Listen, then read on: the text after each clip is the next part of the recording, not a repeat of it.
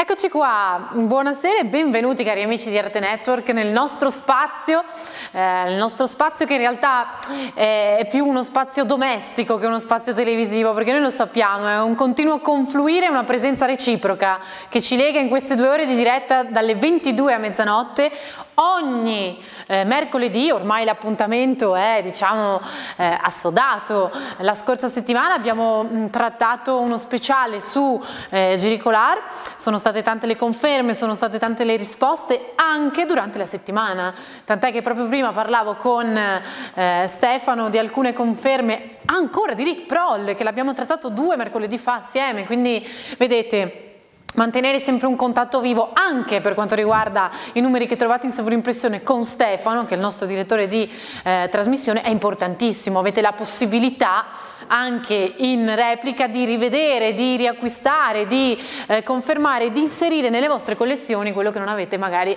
avuto l'occasione di confermare nelle nostre dirette. Ok, quindi eh, benvenuti a tutti in questo spazio, iniziamo tra poco con due artisti. Oggi sono due personalità che si alterneranno, ma c'è comunque un legame di fondo tra ehm, due, diciamo, queste due impronte della seconda metà del Novecento, importanti per quanto riguarda l'aver testimoniato, ok? Più che una tendenza tecnica e l'approccio tecnico per quanto riguarda l'espressione artistica delle loro opere che andremo a vedere, L'aver testimoniato più che altro dei fenomeni, dei fenomeni che riemergono e che si eh, ripresentano nella nostra contemporaneità come più che attuali. Poi lo vedremo assieme, quindi importante questo, è già diciamo la nota che vi fa capire che eh, gli artisti che godono poi di un'eternità sono quelli che emergono e che ingannando il tempo, il trascorrere, lo scorrere del tempo eh, risultano sempre contemporanei, ok? Non si limitano a un'interazione, ad un'azione eh, nella loro parentesi d'azione temporale, ma si diluiscono nel tempo dando spunti, eh, facendo come ho detto riaffiorare ed emergere, in questo caso dei miti, delle icone, eh, un fenomeno ed un movimento che ha attraversato non solo la scena artistica italiana, ma anche a livello internazionale. Quindi eh, andiamo subito a, vedete, scusate io intanto in mano eh, come sempre eh, molti fogli, perché in realtà questo è il frutto eh, di un lavoro che ogni settimana si svolge di approfondimento, di ricerca, perché diciamo che non c'è una impostazione eh, stagnante oppure eh, statica, c'è sempre un dinamismo dietro le nostre trasmissioni, dietro la ricerca, ehm, la scelta accurata delle opere, eh, l'informazione a livello di mercato, ecco, è tutto un humus che poi eh, viene semplicemente in queste due ore contestualizzato, argomentato eh, dalla sottoscritta e da voi con le vostre richieste per capire quali oggetti andare a confermare e a inserire nelle vostre collezioni. Allora, vieni un attimo con me Max, perché a proposito di ehm, oggetti, come vedete sia nell'espositore eh, di fronte a me in questo momento, ma anche poi nelle due opere, in questo caso di Giuseppe eh, Chiari, che vedete con l'inclusione dell'oggetto, chiaramente eh, di impronta musicale, perché quelle sono le sue radici, ecco, un artista importante ed Arte Network è stata eh, diciamo la prima realtà a crederci. E poi impronteremo la trasmissione su Caberlon, altro grande eh, artista che, ehm, come dicevo prima, ha delle connessioni con Chiari, ci sono dei rimandi, ci sono degli echi, c'è un far trasparire la conoscenza, il loro legame, l'essersi conosciuti. Vedete, poi il mondo dell'arte, ehm, soprattutto nelle loro opere, è testimonianza di vita vera. Oltretutto far emergere un legame che è esistito in un percorso di vita vera. Quindi Partiamo, concentriamoci su entrambi. Eh, il, come sempre, le due mm, liste in PDF per vedere e scrutare già le proposte della nostra trasmissione le trovate al centralino con Stefano. Stefano che io ve lo dico in questo momento perché è momentaneamente uscito ehm, vi farà delle, dei prezzi interessanti ok? Delle proposte interessanti per quanto riguarda entrambi gli artisti. Quindi già cercate di orientare la vostra scelta già cercate di iniziare a capire ehm, su chi eh, puntare anche se in realtà sono stati messi assieme nello stesso terreno perché sono entrambi artisti su cui puntare e i motivi per cui diciamo puntare su queste due personalità li raccordano, li legano e fanno sì che queste due personalità in certo modo aderiscano l'una con l'altra, ok? Importantissimo. Ieri ho avuto l'occasione, motivo per cui ho tutta questa fogliazione in mano, anche di parlare con Francesco che saluto, spero ci stia seguendo, spero sia in diretta anche lui come telespettatore della trasmissione a lui dedicata e questa è una gran fortuna, poter interagire oltretutto eh, con persone umili prima che grandi artisti, questo non è scontato e eh, quindi io ci tengo a sottolinearlo e a ribadirlo perché è importante, eh, il sistema dell'arte che prevede galleristi, venditori, eh, esposizioni, istituzioni museali animato no? da quella che è la materia prima, quindi l'artista in sé, non sempre, non sempre si ha questa certezza di... Ehm, e questa fortuna di entrare in contatto con persone eh, trasparenti, umili, ehm, alla mano. Si pensa sempre che l'artista possa essere una personalità costruita su un concetto di artista, invece no, sono assolutamente delle persone che nella loro interiorità hanno una grandezza da esprimere. La grandezza sta in questo, nell'esprimerlo in maniera del tutto eh, pulita, del tutto sobria. Ecco, questo l'ho riscontrato e mi fa molto piacere. Quindi qua ho anche delle annotazioni, delle annotazioni, degli aneddoti che, di cui parleremo durante queste due ore di, eh, di diretta assieme. E eh, alle mie spalle, vedete, già subito un'opera, un'opera molto importante sia per le dimensioni, perché come potrete vedere nel pdf che Stefano vi eh, spedirà come sempre al centralino, diciamo che questa è, è imponente dal punto di vista ehm, della struttura, ecco, del supporto, ma è anche molto importante perché tutte le accezioni che emergeranno comunque nel percorso, nella rivoluzione, questo termine è giusto, è giusto etichettare diciamo, la sperimentazione di Caberlon come rivoluzione, poi lo capiremo assieme perché sotto tanti, tanti, punti di vista che in realtà sono la realtà che emerge dal suo vissuto. Ecco, oggi parleremo di arte vera, di arte reale, di arte vissuta. Questa è la bellezza e partiamo subito dall'otto numero uno quello che voi trovate nella vostra lista che potete farvi mandare come primo della lista. Andiamo, concentriamoci sulla protagonista che è l'opera. Andiamo Max, andiamo, andiamo, facciamola vedere.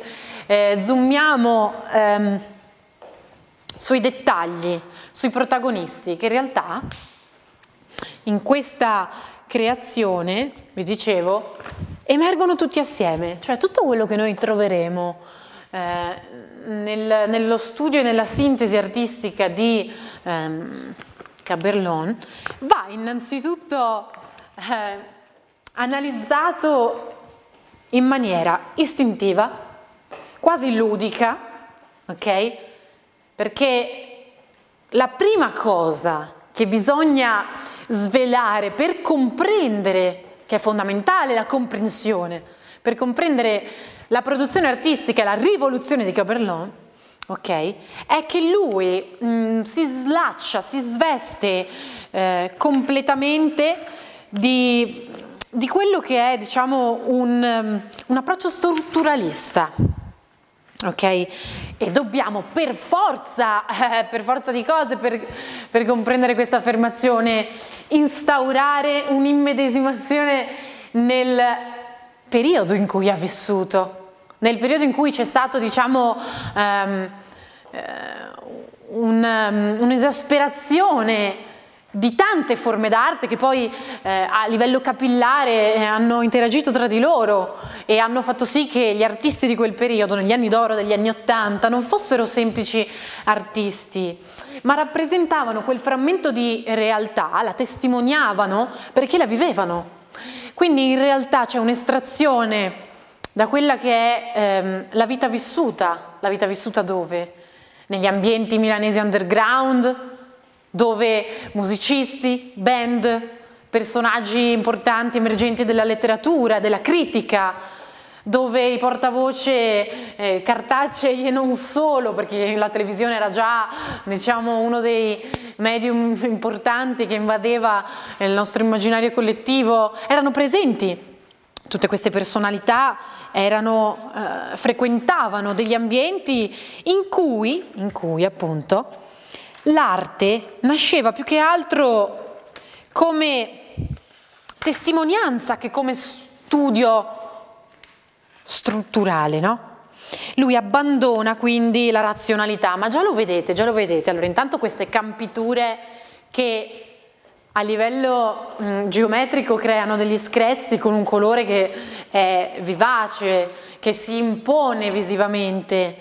E oltretutto noteremo assieme dei rimandi, dei richiami, degli echi che non sono sempre un voler far rivivere degli artisti che hanno nel passato sicuramente ehm, segnato eh, delle tendenze o comunque hanno realizzato delle opere che poi sono state considerate delle opere iconiche nel Novecento, nell'arte eh, soprattutto avanguardista dell'inizio del Novecento. In questo caso c'è un richiamo più che altro visivo, ma non un voler far rivivere o un voler reinterpretare nel senso di presunzione o di accostamento di personalità con Matisse, però ci sono, e andiamo di nuovo all'interno della protagonista, di questo spazio di elaborazione, c'è senza ombra di dubbio, dubbio un richiamo alla stanza rossa di Matisse.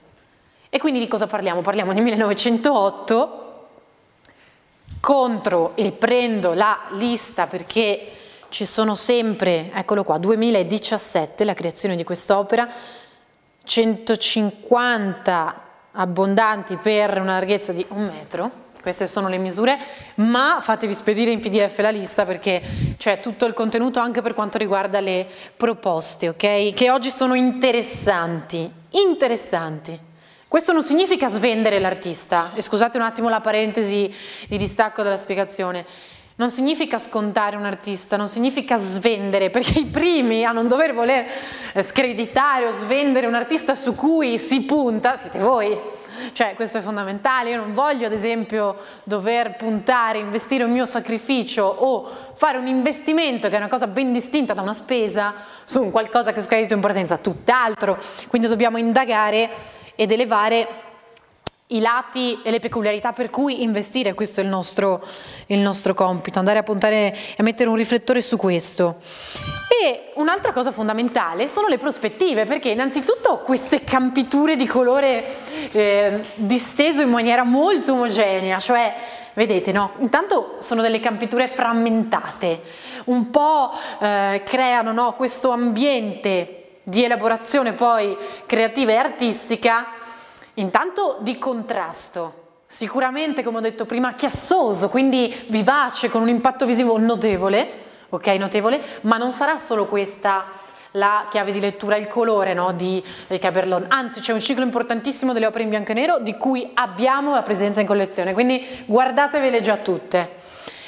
E eh, cosa tende un po' questa campitura piena? Ad annientare l'elemento prospettico. Anche questo è un richiamo ed un collegamento all'opera celebre di Matisse La Stanza Rossa del 1908, perché se noi ci ripensiamo, e poi magari se eh, Marcello, visto che è multitasking, ce lo manda in raffronto visivo, okay, che non è mai un paragone, ma è un cercare di creare un richiamo visivo, nessun artista va paragonato con nessun altro.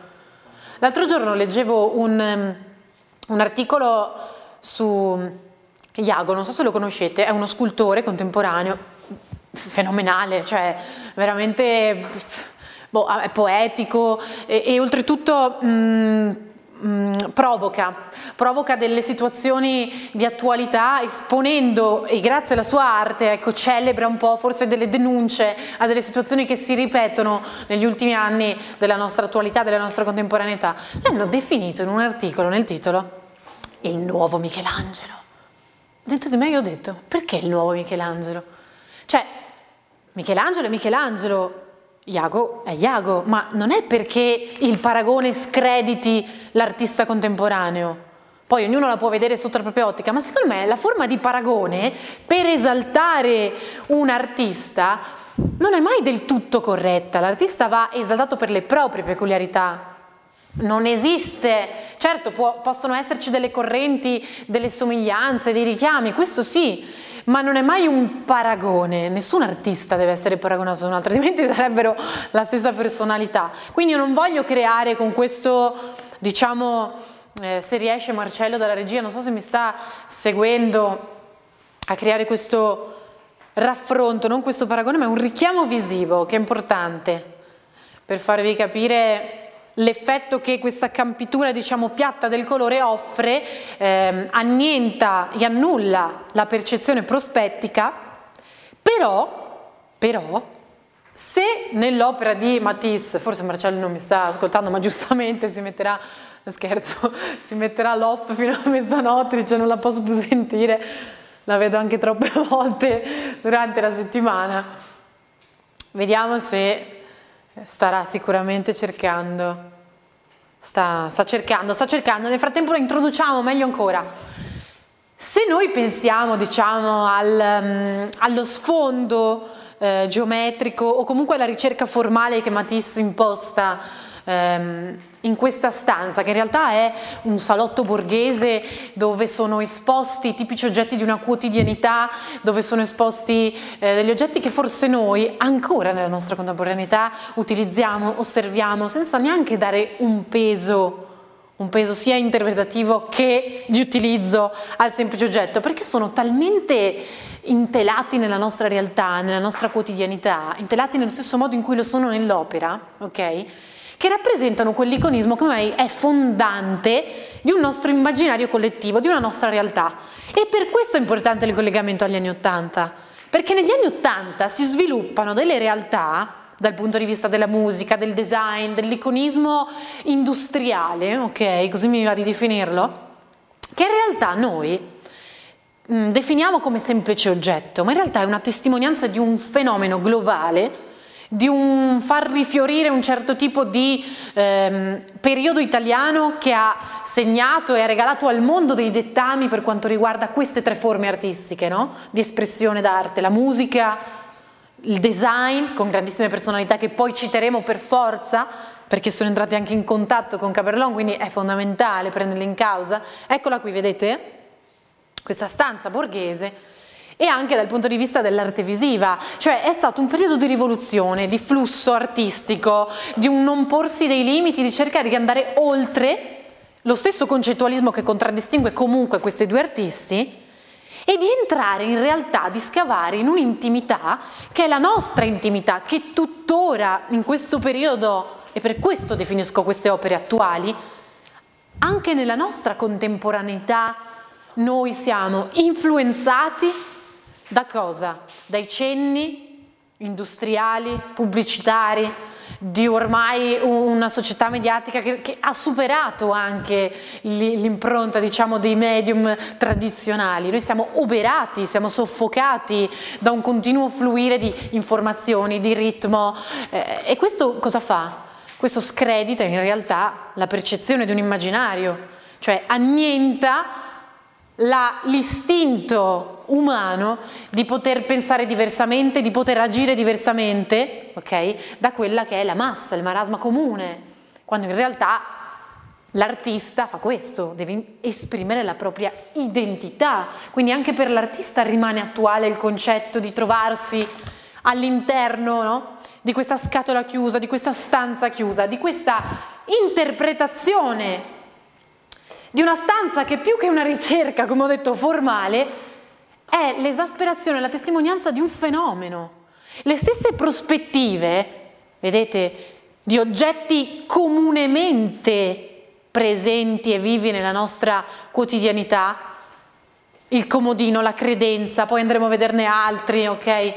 Con questi strilli, con questi collage, con questi ritagli di parole tipicamente un revival un po' anche del dadaismo che sappiamo con quei collage aver diciamo un po' coniato con l'avanguardismo della prima metà del Novecento, questa tendenza che in realtà, che in realtà noi pensiamo essere una tendenza all'aggiungere, perché vediamo i soggetti, vediamo la stanza, vediamo un'abbondanza di colore, ok? Di questa policromia che, che proprio ci coinvolge, ci, ci travolge, ci arriva addosso, no? E pensiamo che sia tutto un aggiungere, quasi un'impostazione kitsch di attaccare, fare collage, queste lettere, no? Queste firme, queste scritte, questa prospettiva destrutturata, questa geometria che proprio si sgretola all'interno del nostro quotidiano, ok? Quando in realtà questo è un levare, è un voler tornare a quelle che sono le concezioni primordiali dell'essenzialità quasi ludica, okay? che è insita in ognuno di noi. Tant'è che i dadaisti erano i primi ad aver instaurato questo approccio, questo rapporto con l'arte dei collage, papier collage e tutte quelle, quelle forme tecniche che in realtà esprimevano una realtà primordiale, originaria, che è presente nell'aspetto ludico di ognuno di noi. Il bambino gioca, il gioco è un elemento fondamentale, non trascurabile in età adulta, per poter preservare una di quelle forme di innocenza che devono essere preservate, tanto più in una società che, come ho detto prima, ci schiaccia.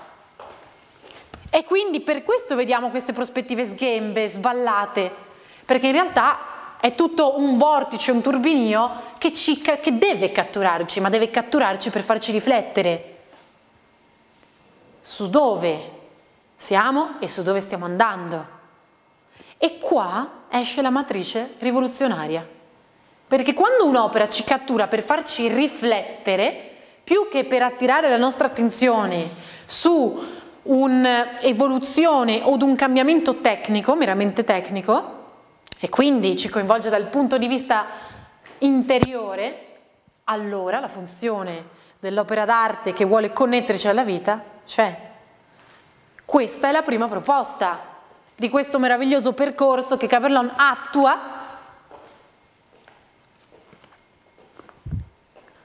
forse fornendoci anzi eh, proprio questa leggerezza formale che io apprezzo moltissimo che io apprezzo moltissimo, poi vedremo anche quali sono i rimandi pop, i rimandi Dada, i rimandi a tanti altri artisti che sono esistiti ma reinterpretati in una società che inizia negli anni Ottanta con il postmoderno, con la crisi del, del, del design, con personalità del design che hanno senza ombra di dubbio accompagnato e sicuramente anche in un senso lato influenzato la figura di Caberlon, che sono Mendini, grandissimo designer, ma non solo, perché alla fine quelle personalità, vedete, queste, mh, mm, questi non so, non so, neanche come definirli perché in realtà non ci sono eh, aggettivi propri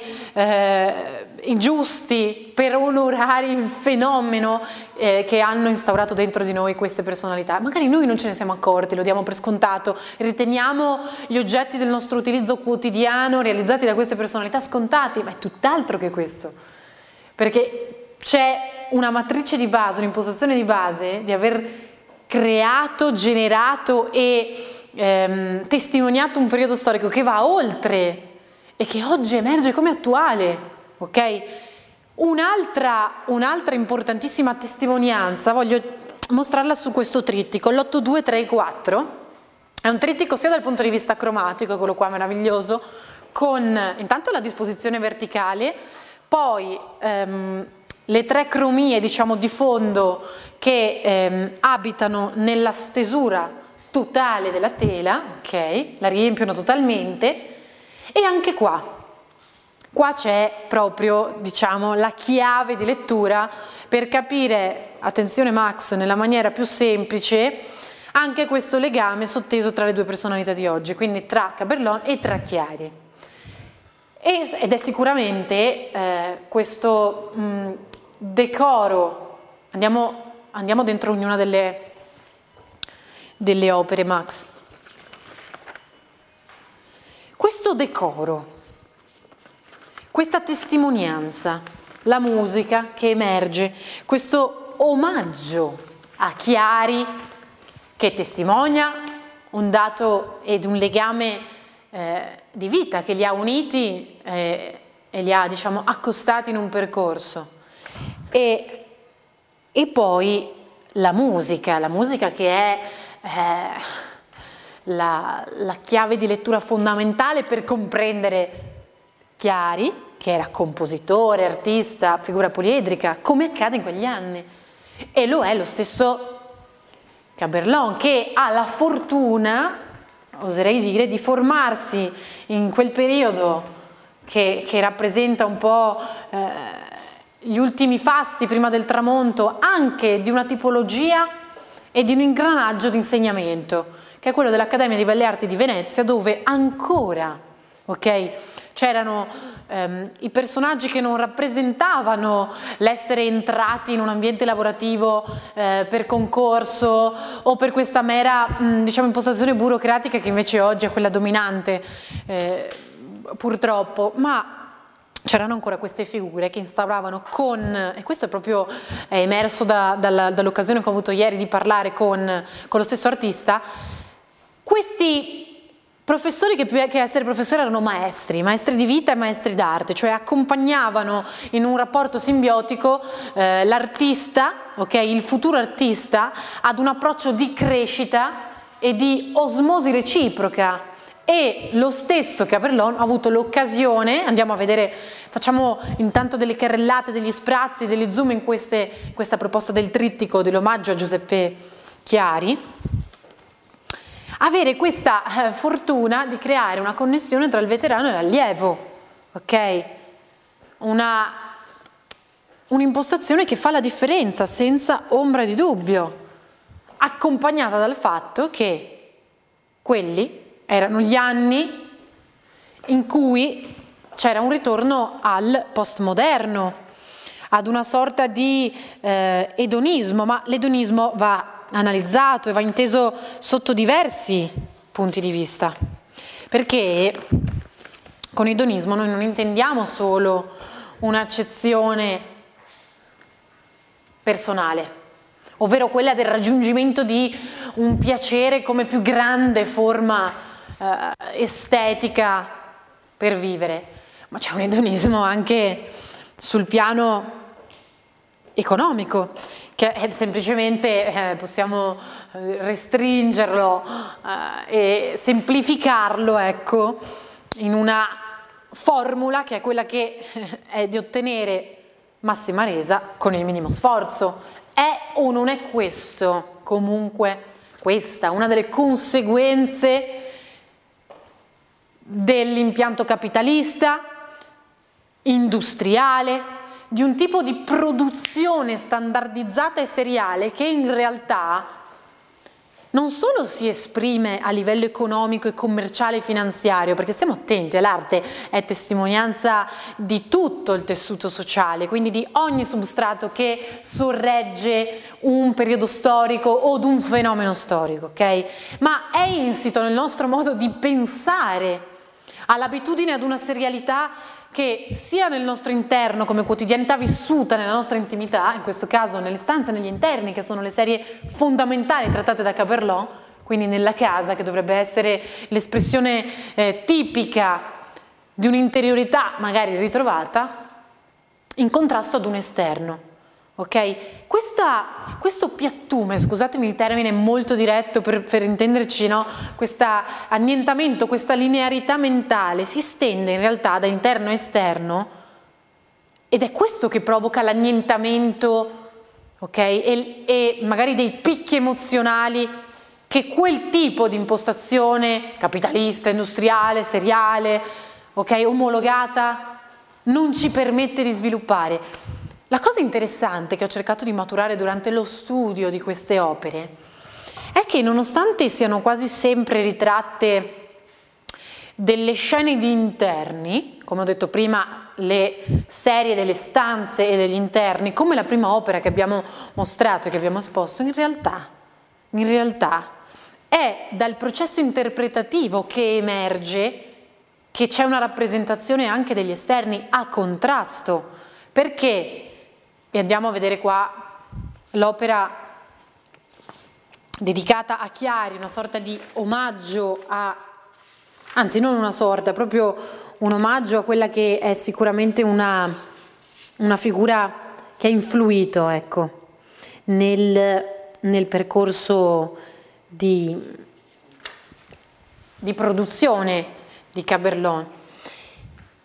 Perché dico collegamento interno-esterno? Intanto non c'è una logica, una logica strutturale, come vedete, viene annientata, e un'impostazione, quindi la ribellione emerge. Questa è una stanza, ok? Ma è una stanza del tutto destrutturata, non segue logiche formali, non segue un rigore di quello che sarebbe e che è la nostra aspettativa di un interno che andiamo ad analizzare. Perché? Perché non è questo lo scopo, cioè formalmente eh, tracciare una linea, una geometria di quello che è l'interno come ce lo aspettiamo, tutt'altro, è proprio spogliarsi di un'aspettativa e ridare un cenno, una linfa vitale all'immaginazione, in questo caso protagonista che in realtà è il mezzo dell'opera, il pianoforte. Tre pianoforti a coda perché sono tre le proposte sull'omaggio a Chiari, e poi tutto quello che invade una situazione, una stanza, uno spazio in maniera scordinata. Quella è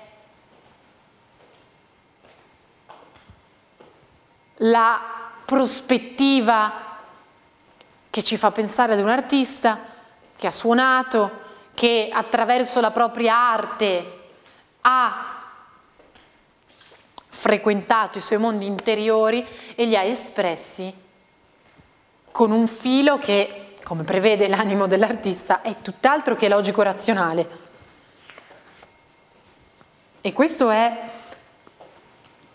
importante per comprendere Caberlon. Non aspettiamoci una logica formale o un percorso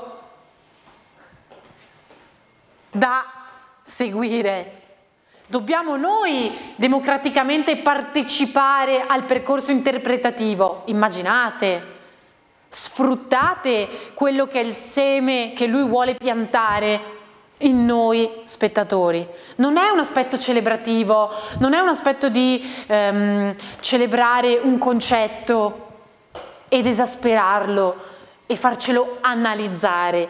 Non c'è questa chiave analitica, c'è il dovere morale che noi abbiamo di dover studiare la nostra immaginazione.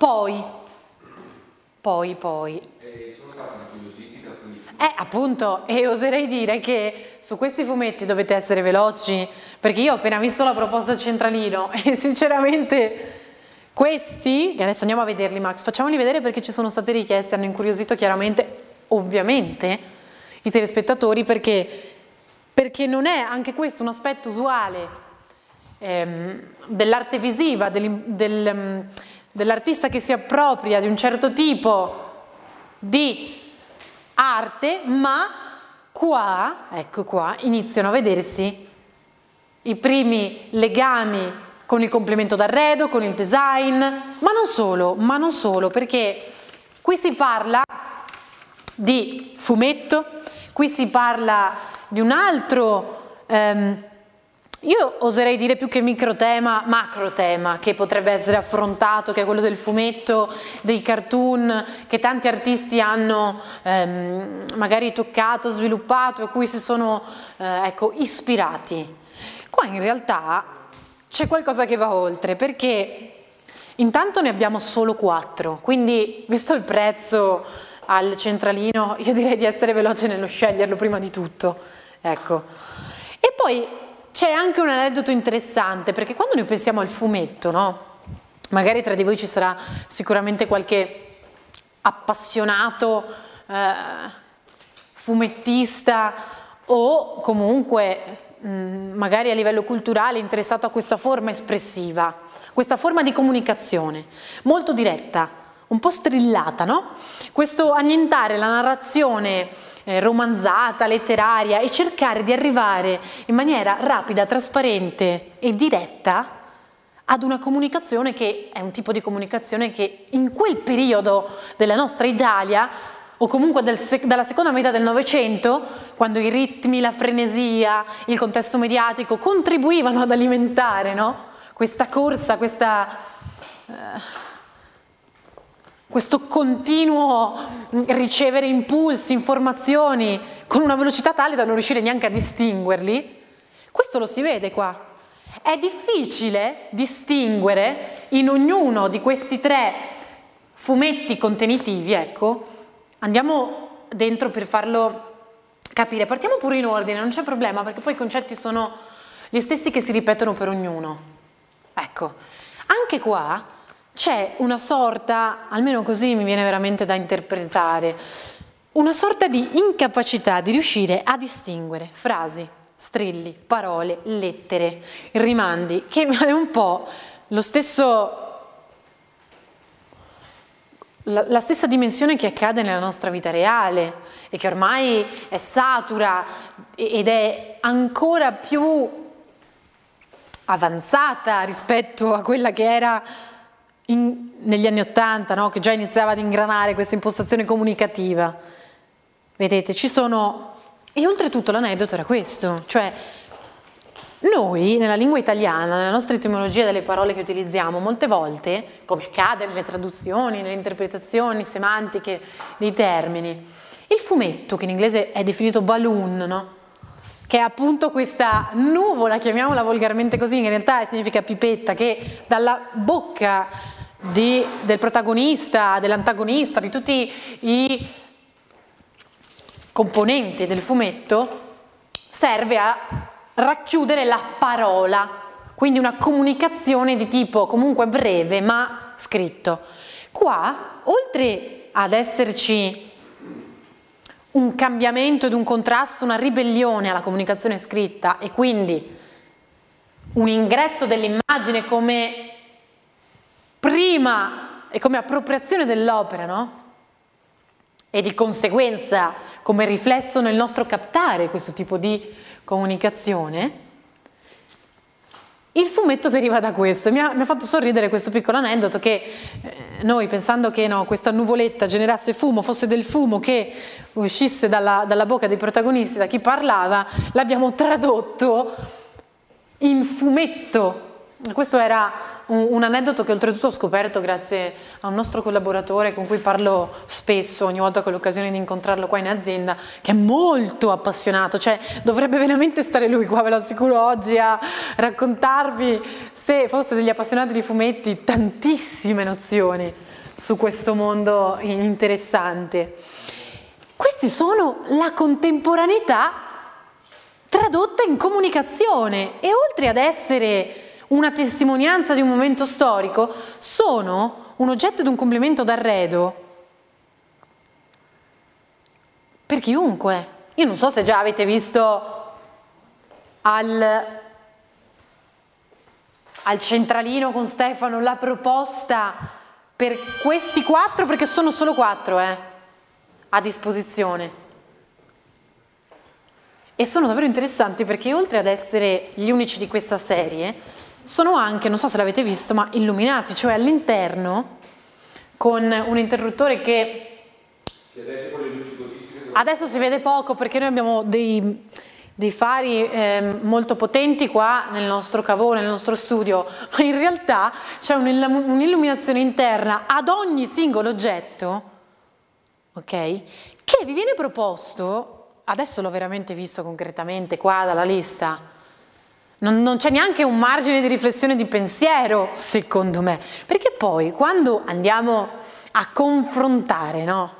Perché chiaramente le logiche del mercato purtroppo prevedono anche questo, questo confronto con le produzioni simili o considerate simili. Qui non c'è un rapporto, non c'è un confronto, perché non c'è una similitudine con questo tipo di produzione. E ve lo dico espressamente, ogni singola composizione è un pezzo unico, tant'è che voi nel retro troverete la firma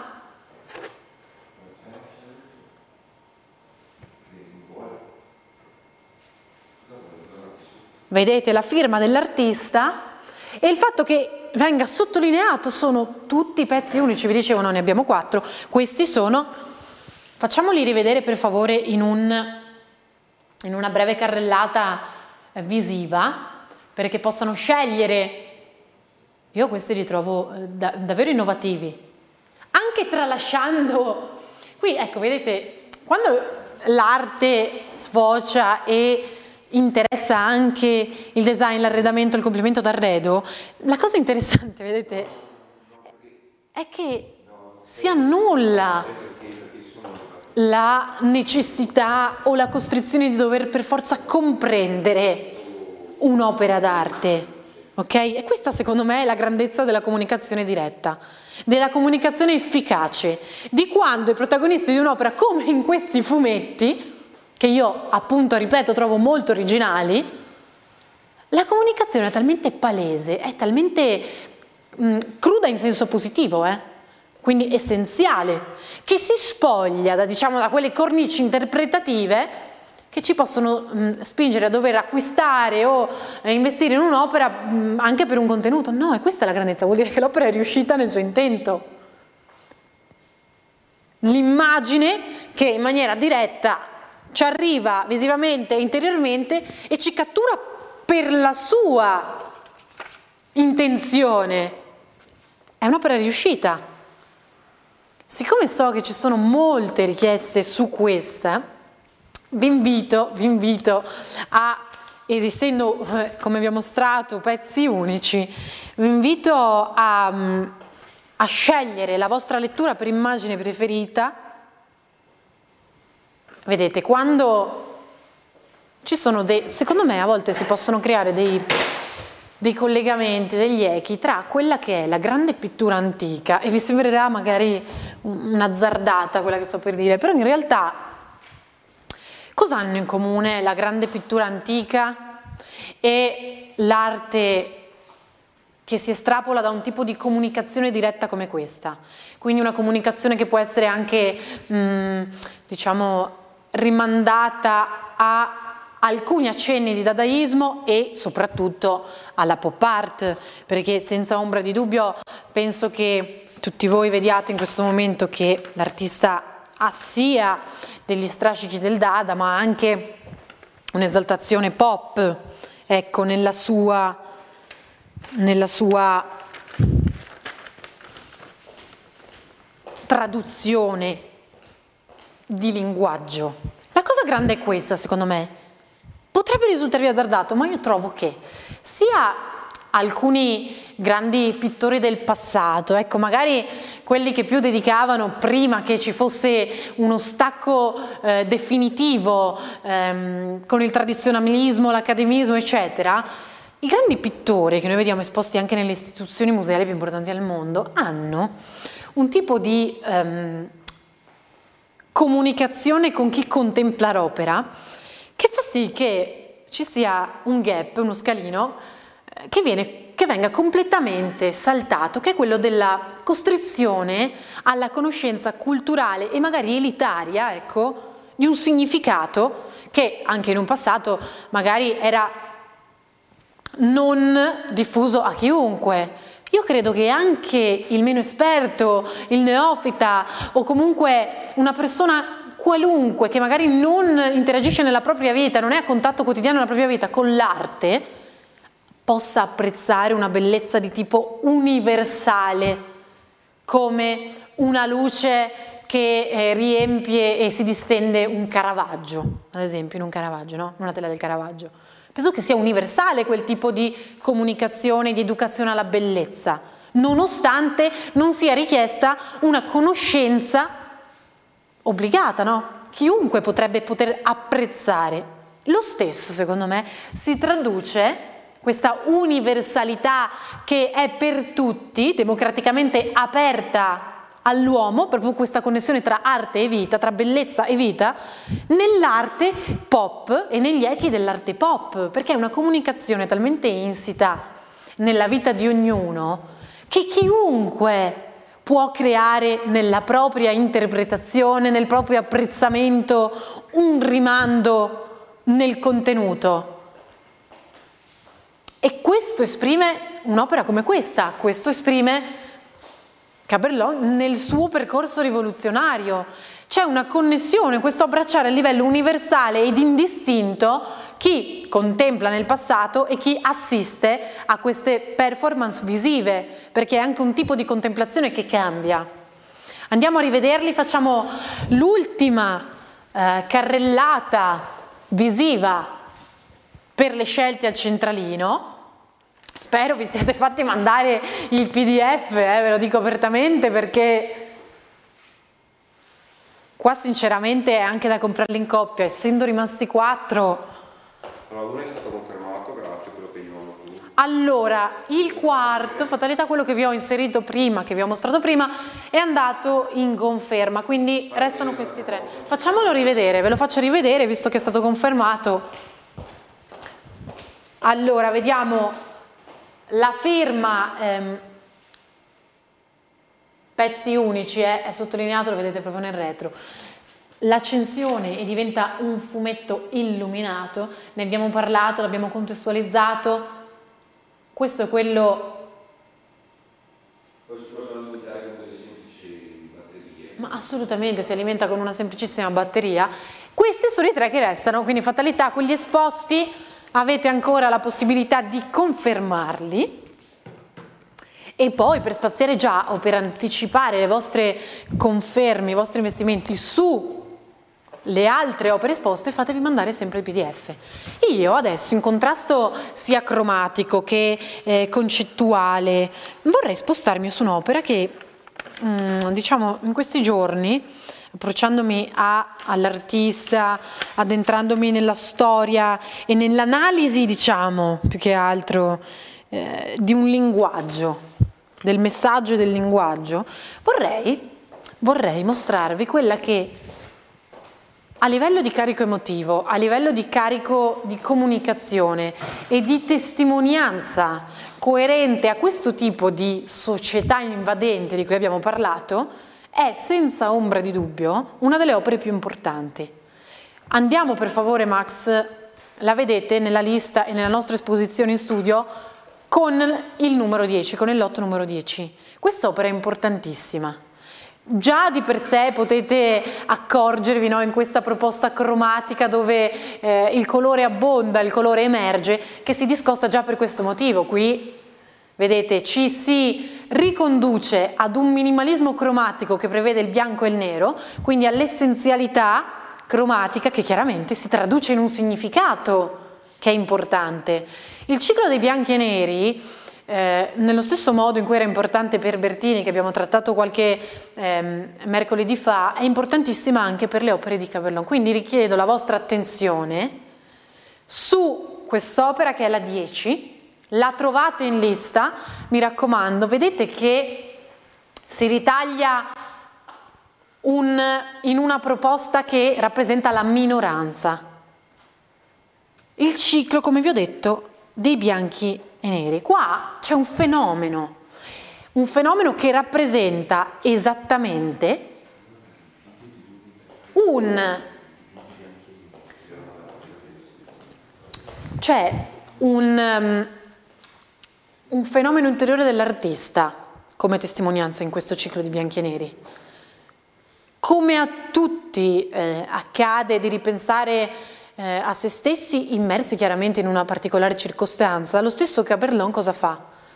Analizza un'interiorità mm, probabilmente in chiave malinconica, in chiave tormentata, in chiave ehm, come rispecchia no? La bicromia utilizzata, il minimalismo e l'essenzialità del bianco e nero, ok? Testimonia non solo attraverso il colore, ma attraverso il soggetto scelto, sempre estratto da una quotidianità, quindi cerca già di entrare, di familiarizzare con chiunque. Questo vi ho detto. Vi sto facendo, eh, eccolo qua infatti, questo è un tributo che abbiamo scelto di mostrarvi mentre l'artista è all'opera e realizza uno dei suoi disegni in bianco e nero oltretutto. Guardate la, la, la spigliatezza, la spontaneità, il gesto naturale ed immediato nel riuscire a riprodurre queste iconismo quasi totemico no, della nostra quotidianità, perché sono oggetti e figure, quelle utilizzate da lui, estratte appunto dal contesto contemporaneo, che a noi sembrano scontate e banali, potrebbero sembrare, guardate qua poi il rimando no? a, vi ho, a quanto vi ho appena detto del tipo di soggetto che in realtà è un oggetto della nostra vita. Vedete?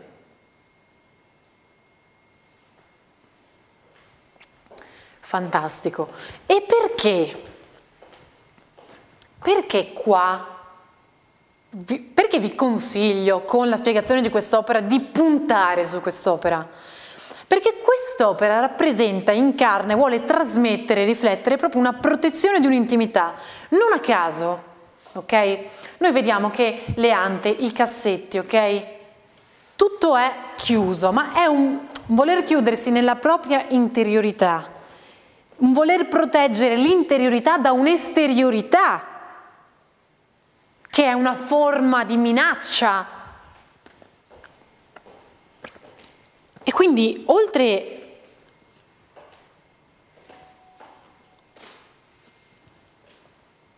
oltre a rappresentare a livello proprio iconico il suo tracciato artistico, la sua impostazione, la sua scelta artistica, rappresenta quello di cui vi parlavo prima. In realtà gli esterni, io la penso così, gli spazi esterni in Caberlon esistono.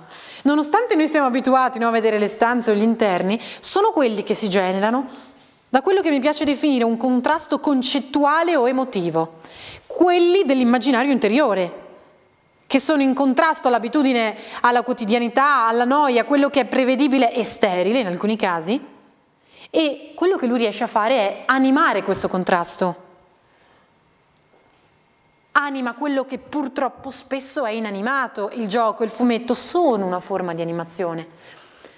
Come lo è il voler discostarsi dalla comunicazione diretta, impressiva e veloce rapida del colore e voler ritirarsi in una protezione di un'interiorità che ormai è inquinata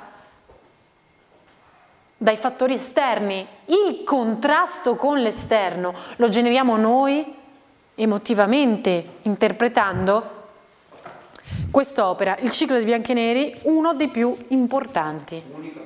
L'unica questa è l'unica che abbiamo da potervi proporre di questo ciclo. Si circoscrive già da sola come proposta rara, che si discosta dalle altre, che si differenzia, che cerca di comunicare questo lato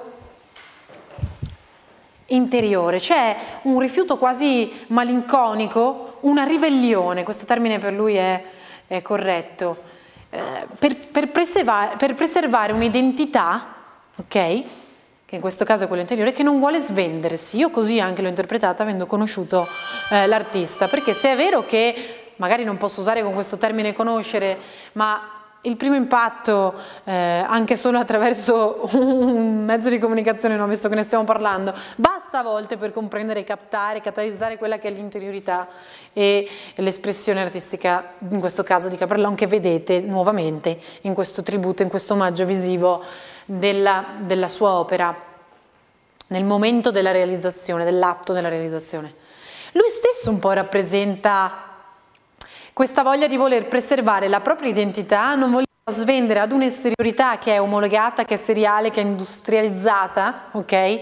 Una sorta forse di ribellione anarchica a quelli che sono gli artisti che invece si sono, eh, anche per dei favoritismi economici, senza ombra di dubbio, schierati in prima linea, si sono incasellati con quella che era la corrente che ha trainato un periodo, ecco. Qua invece, come in tanti altri artisti che abbiamo trattato, e dal mio punto di vista è senza ombra di dubbio una caratteristica positiva, esponenzialmente positiva, quello di non voler svendere, come ho già detto e come ripeto, la, la propria personalità ad un concetto di mercato, ad un concetto di prodotto, ad un concetto commerciale. Questo è il modo in cui comunque un artista ricava nelle proprie proposte, vedete il gesto impulsivo, la verità anche nel movimento creativo? Questa stessa verità, questa stessa eh, voglia incorruttibile, ve lo assicuro, di non volersi intanto anteporre a nessuno, eh, accostare a nessuno, ma neanche volersi inserire in dei contesti che vi assicuro nel sistema eh, complesso che è quello che muove il mercato dell'arte contemporanea, sicuramente avrebbero rappresentato un favoritismo, un aiuto, ecco, una semplice raccomandazione. A me piacciono gli artisti come lui, come tanti altri che abbiamo trattato nelle nostre trasmissioni, nei nostri speciali, in cui accuratamente scegliamo questo tipo di personalità. Noi non vogliamo proporre la personalità commerciale che tutti possono avere. Noi vogliamo proporre quello che non tutti possono avere. E qua, dal mio punto di vista, si subentra anche in un concetto e in una tipologia di collezionismo che diventa proprio elitario e di nicchia per questo. Perché tutti possono essere in grado o avere la capacità di ehm, puntare su un artista che ormai ha già raggiunto, sorretto da tutto questo sistema di cui ho appena parlato, l'apice di una fama, una fama che molto spesso è transitoria, perché quanti artisti hanno raggiunto eh, un, un momento di tendenza, un momento di fama talmente, ehm, ehm, come si può dire, d'impatto, ecco, proprio com'è la nostra eh, società, d'impatto, ma poi la sostanza è un'altra cosa, e hanno puntato magari su degli artisti che sì, rappresentavano il grido del momento, ma come tutte le tendenze che scientificamente esauriscono, ok? Avevano già esaurito il loro potenziale futuro, la loro proiezione futura. Io non voglio proporvi un artista che ha già terminato, che ha già esaurito una proiezione futura, anche solo di un, di un possibile aumento del vostro investimento? Assolutamente no, sarebbe una scelta banale, banale, sarebbe una scelta un po' sciocca. Voglio proporvi l'artista che si tira fuori dal, dallo scontato e dal banale e che voi come collezionisti elitari e di nicchia dovete entrare in gioco, voglio lasciare spazio a voi, non voglio imporvi un qualcosa che il sistema dell'arte contemporanea vi dà già e vi confeziona e vi preconfeziona già come dato per scontato. Tutti sappiamo che certi artisti hanno dato, hanno avuto il loro momento. Cosa? Seriamente? Lo ripeto, molto meno di 2000 euro, oltretutto. Ma di cosa parliamo? Andiamo a, cioè, ci sono collezionisti che vanno a spendere cifre folli, cifre folli, perché nessun ambito artistico raggiunge cifre folli come l'arte contemporanea, lo sapete meglio di me, essendo collezionisti di arte contemporanea. Perché? Perché quando l'artista entra a far parte di un fenomeno, un fenomeno che come vi ho detto prima può essere un fenomeno di moda, di tendenza, ok? O di esaltazione da un certo tipo di critica che vuole agguantarsi proprio quella personalità e la trasforma quasi in un mito. Ok, questo succede, eh? È anche una volta un idolatrare una personalità che ha realizzato magari un qualcosa che dal punto di vista di sostanza non ha superato nessuno, ma magicamente raggiunge queste conseguenze a livello di mercato. Io non voglio voi puntiate o proporvi come Arte Network l'artista scontato, che questo percorso lo ha già ricalcato, no? Io voglio darvi una possibilità, che è quella che, a cui il collezionista dovrebbe puntare, di avere un qualcosa di concreto per un futuro. E quando vi viene proposto a meno di 2000 euro contro la figura che ha già esaurito un suo percorso, che magari vi viene proposta a 30.000, ma 30.000 restano 30.000, 20.000 restano 20.000, ok? io voglio darvi in mano quella chiave quel cambiamento anche mentale nell'approccio al collezionismo, perché non staremo mica ancora dietro alle leggende della tendenza della moda momentanea transitoria, ma per favore. Quindi c'è anche uno slancio innovativo che vi deve spingere a scegliere l'artista di nicchia e non l'artista commerciale perché molte volte, non so se notate, ma è più l'impalcatura a sorreggere un artista che la sua sostanza. Io non voglio farvi puntare sull'impalcatura, che lo sappiamo serve a mantenere una facciata. Io voglio che puntiate sulla sostanza. Andiamo sulle proposte in plexiglass cambiamo produzione, mostriamo un'altra evoluzione, un'altra rivoluzione di aver testimoniato un ritaglio di quotidiano. Mi piace un sacco questa con il, la 12, ma le vediamo entrambe tanto, sia la 11 che la 12. Quindi eh, Max, scegli te, non c'è problema. Allora, innanzitutto Assolutamente, innanzitutto a livello tecnico ve la mostro subito. Eh, vieni qua nel profilo Max, dobbiamo far vedere il profilo, eh, lo sai che io non le tocco più, ho già dato con Rick Proll, col primo volo pindarico della mia carriera, ma do, dicono che dovesse esserci, lo, lo chiamano il battesimo del, del televenditore, quindi mi sono automaticamente giustificata con questa credenza, con questa leggenda, ma ehm, vi faccio vedere a livello di impostazione tecnica e di realizzazione il profilo, ecco, di questa, tra virgolette, scatola che contiene con il tipico materiale che testimonia l'industrializzazione e la produzione seriale, ok? Ricordatevi, non è sempre esaltazione, è anche denuncia. Anzi, forse la rivoluzione sta più a braccetto con una forma di denuncia che di esaltazione, no? Comunque, non è una singola scatola che ingloba una creazione. Questa tipologia l'abbiamo vista anche in Campesan. Vedete, sono quattro o più, dipende, non tutte le opere sono uguali perché sono tutte opere e pezzi unici. Sono questi quattro strati sovrapposti, ok? E ogni strato ospita una realizzazione.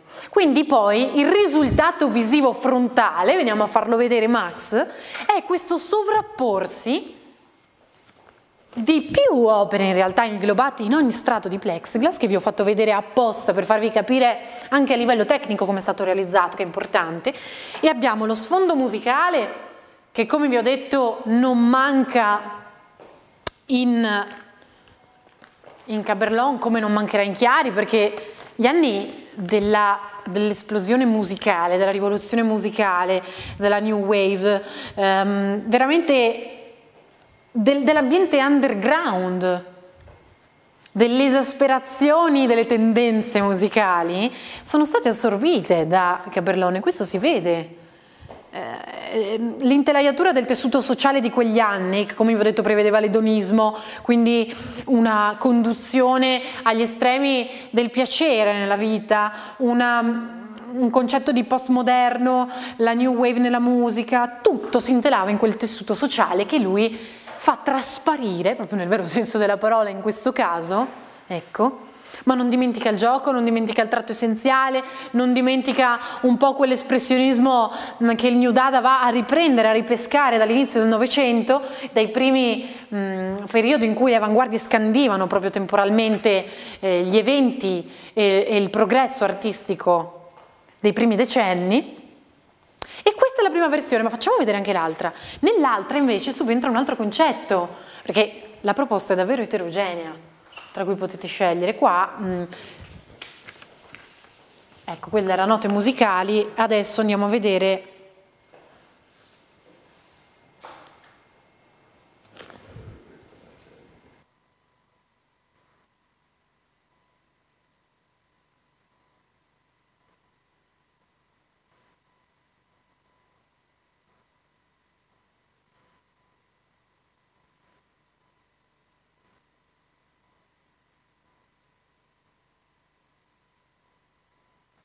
Ecco, in questo caso vi parlavo di complemento d'arredo, di oggetto del quotidiano.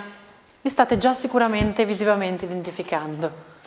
Oltretutto questo, eh, questa natura eh, morta disposta sopra eh, al tavolo, come, un po' come punto focale, che proprio ci fa, cioè attira visivamente l'attenzione, no? Sì, sì, sì, sì, sì, sì, sì, ma diciamoli, anzi te li chiedo perché io, come ti dico sempre, non voglio trasmettere, ehm, cerco sempre di non guardarmi le cifre perché mi interessa trasmettere il valore del contenuto. Questa è la 12, diciamo qualche prezzo. Eh beh. Il prezzo che è riservato è un prezzo speciale, io ve lo dico Stefano, non c'è nessun tipo di problema, 60 per 60 se non erro giusto? Sì, questa, mentre l'altra era un 51 per 51. Io ve le dico per entrambi. Allora, abbiamo 1200 la prima, quindi la 11, le note musicali. E, e, e, e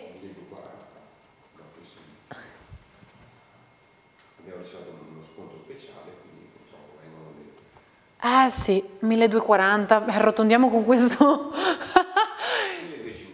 1250, arrotondiamo eh, perfettamente in eccesso, no sto scherzando, è che avendo ritoccato in maniera, ve lo assicuro perché ora ho proprio la lista di fronte, avendo ritoccato in maniera evidente alcune cifre per lo speciale di oggi, per questo dovete approfittare di queste trasmissioni del mercoledì.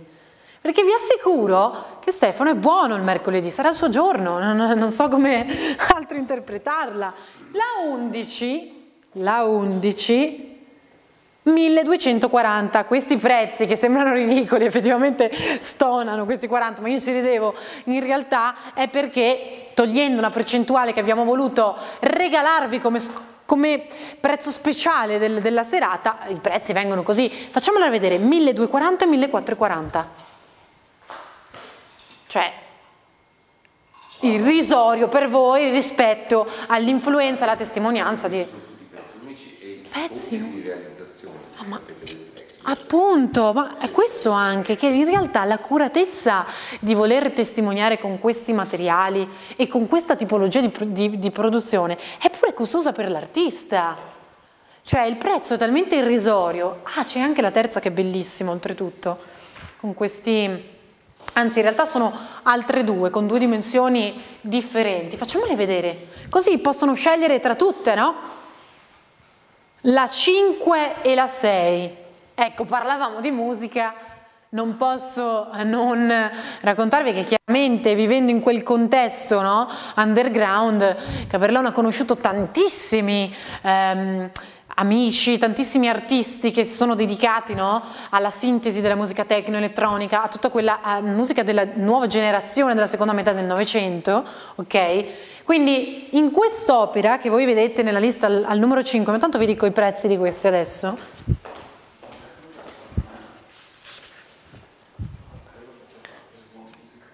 Sì, lo so che voi eh, pensereste a Tecnocasa come... in realtà ehm, l'intento dell'artista in questo caso non è farvi ricordare un colosso, o forse anche sì inconsciamente, un colosso eh, che è Tecnocasa, ma voler anche mh, mm, regalare un tributo con il sempre la strutturazione a più strati di plexiglass, ma io in questo momento, perché poi vederle dal vivo, vi assicuro vi fa comprendere anche um, l'investimento dell'artista a livello proprio di strutturazione e di intervento per realizzarla. E vi assicuro che di, plexiglass, di opere in plexiglass della seconda metà del Novecento ne ho viste. Ne ho viste, le abbiamo trattate anche con Campesan, ne avete con, confermate anche con le opere di, di Sara Campesan. E vi dicevo, no, questi suoi amici lavoravano alla sintesi e alla campionatura di questi ritmi tecno-elettronici e alla fine questo susseguirsi di ripetizioni un po' ritmate, tamburate, penetrano nella nostra mente eh, io oserei dire generando quasi un effetto psicotico ipnotico che ci fa un po' sognare, un po' immaginare. In realtà quel ritmo è lo stesso ritmo che emerge nel bombardamento mediatico di comunicazione della TV che ormai si è più che appropriata del nostro spazio quotidiano e vitale, anzi va a sostituire proprio quelle emozioni che, primordiali che attraverso questo tratto primordiale e semplice lui vuole far riemergere, vuole farvi ricordare che dentro di voi esiste, è semplicemente soffocato da quella che è una strutturazione, un'impalcatura sterile, mediatica, mm, oltretutto il, postmodern, il postmodernismo, no? è, è, non è solo una condizione, una tendenza, un movimento artistico, ma assolutamente. Intanto ha un impianto antropologico e culturale che vede il tramonto del moderno, quindi per forza ad ogni eh, tramonto di tendenza di ehm, elaborazione artistica come in, con tutte le avanguardie c'è per forza un riscatto artistico che attinge il suo cambiamento per forza nel substrato antropologico e culturale, per forza di cose, testimonia proprio quella natura. Andiamo a far vedere anche l'altra, accanto, la 6. E il postmodernismo in questo caso coincide negli anni 60 con cosa? Intanto con la crisi di un capitalismo che era già maturo, che già in maniera frenetica aveva... Um, eh, si era impossessato a livello planetario di, sia dell'impostazione economica che di quella culturale che di quella finanziaria, questo bisogna assolutamente sottolinearlo, da lì nasce questo postmodernismo, no? queste sono le accezioni antropologiche e culturali di cui parlavamo, questi sono i substrati che, che emergono, l'invadenza della tv commerciale che sappiamo, poi l'infotainment, tutti questi sono fenomeni che hanno segnato una transazione storica e culturale, non solo del nostro paese, ma del mondo post-bipolarismo tra America come concetto di eh, capitalismo e Russia, no? Questa era l'impostazione del, del dell'inizio della seconda metà del Novecento. Poi, da cosa siamo assuefatti? Dai, dai messaggi pubblicitari aggressivi, da informazioni che ci giungono in flussi che non, non vedono cioè, un'interruzione, non prevedono un'interruzione, anzi emergono anche nel nostro inconscio 24H oserei dire, e poi da la rivincita, la ribellione, che cos'è? È un richiamare in chiave ironica, con questa estetica un po' mh, mm, come, come la posso definire? Eh, della citazione, un repertorio delle forme del passato che riemergono e si, um, come posso dire, si ambientano in una società che è questa, quella della comunicazione, quella della frenesia, quella pop, perché mentre in Italia si sviluppava questo impianto, in questo ambiente underground, ci sono i richiami di quello che accadeva a New York, nella zona eh, anche degli artisti che abbiamo parlato come Rick Prohl, ultimo allievo di Basquiat, quindi anche là vedete che c'è proprio un rimando di un accadimento che, a cui il mondo stava assistendo e cui gli artisti chiaramente ce l'hanno testimoniato perché partecipi di questo cambiamento veloce, repentino. E oserei dire, visto che siamo mh, mm, in zona, di andare sull'otto numero 7, che è importantissimo, perché anche in quello convergono tante realtà e coesistono tante realtà tipiche della filosofia artistica. Di... La tecno in conferma. Allora, la tecno, la 5 in conferma. Sì, allora lo. Complimenti, lo consegniamo già lunedì da quello che ho capito al... Sì, va bene, signor Fabio Milano, Ringrazio il signor Fabio da Milano, la consegneremo già lunedì, quindi va in conferma la 5, adesso Stefano la eh, stacca dalla parete, la facciamo rivedere giusto come eh, tributo visivo e come ringraziamento per la conferma. E poi ci spostiamo in un'opera non so se notate, ma chi ormai mi segue in tutti i mercoledì, io cerco di, di creare un tracciato che intanto sia eterogeneo e vi dia la possibilità di comprendere, assaporare ogni evoluzione o approccio che l'artista ha realizzato nel suo percorso.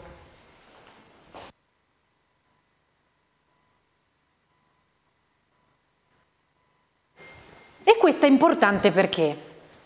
Perché se nella prima opera che abbiamo esposto oggi, che è, appunto è il lotto numero uno anche nella vostra lista,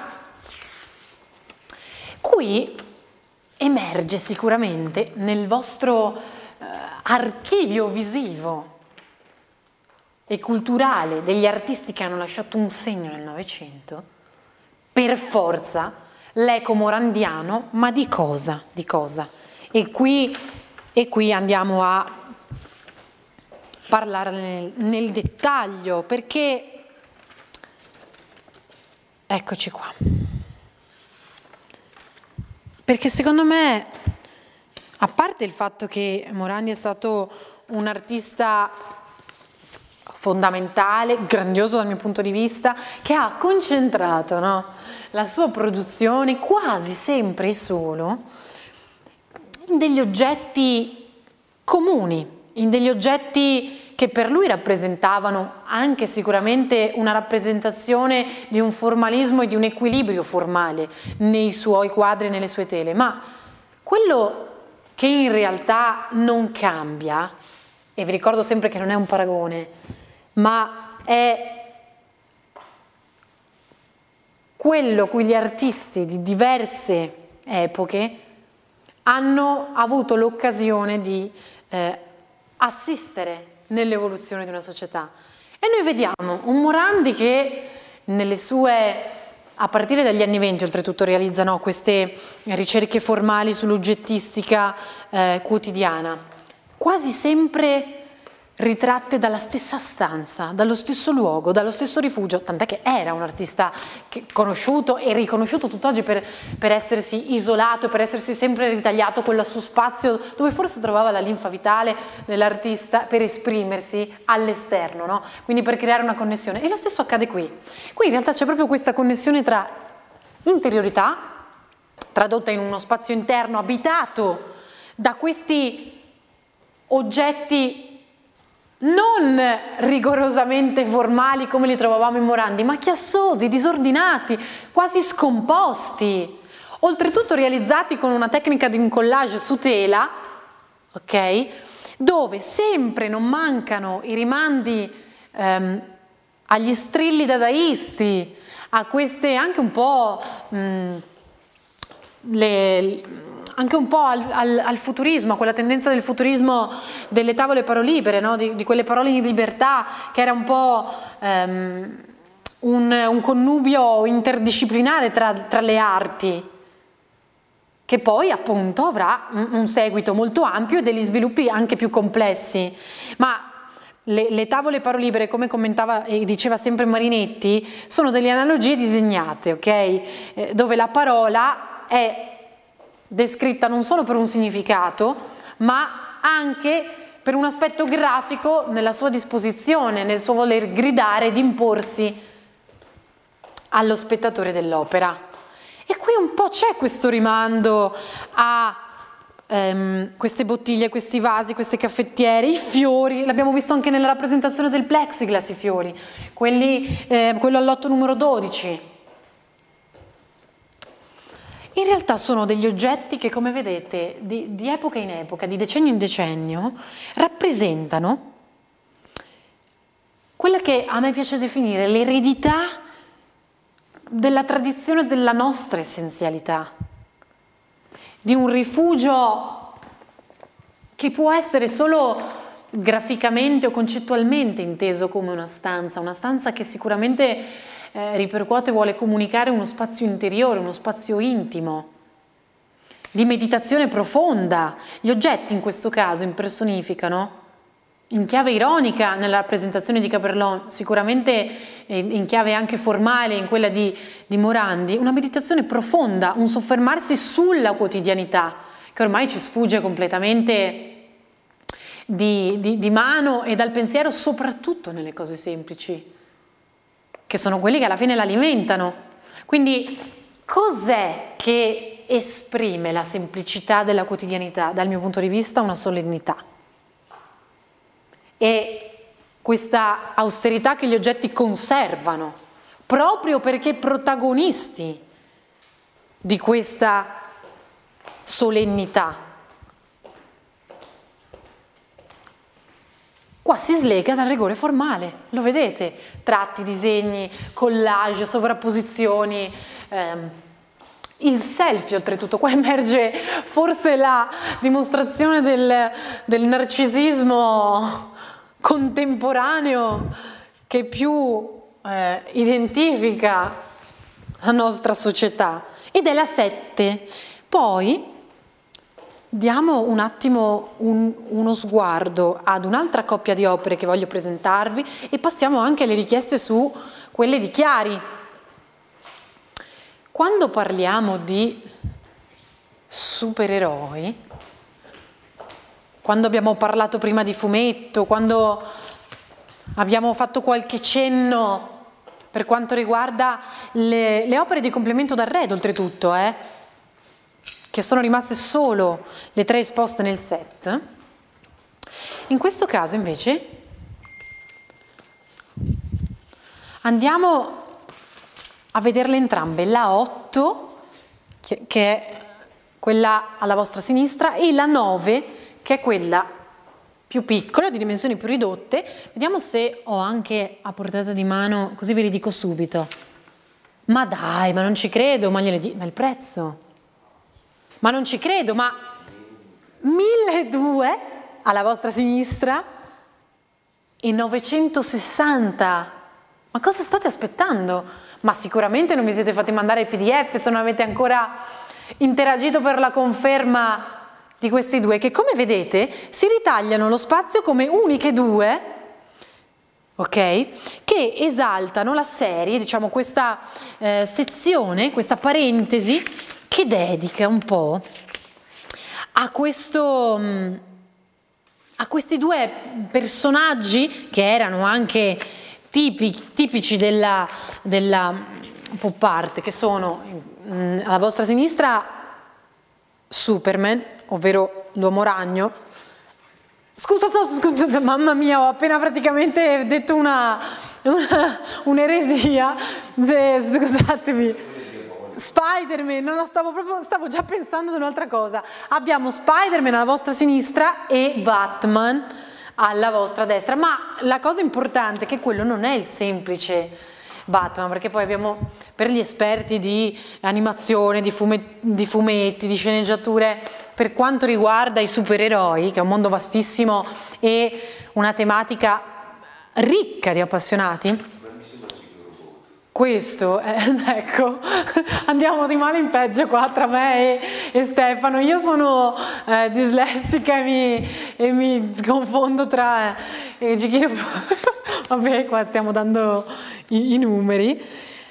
Che questo è il Batman degli anni 90, quello di Bruce Timm, che è considerato in assoluto il Batman più importante tra le evoluzioni e le impostazioni che ci sono state del supereroe, in questo caso 960, non ci credevo neanche quando l'ho guardato adesso. Qua cosa subentra?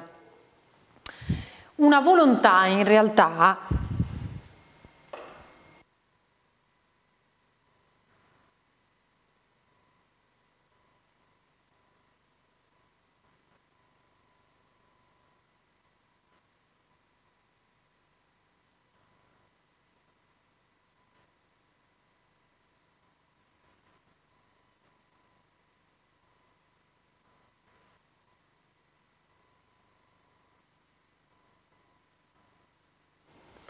Ecco, siamo tornati.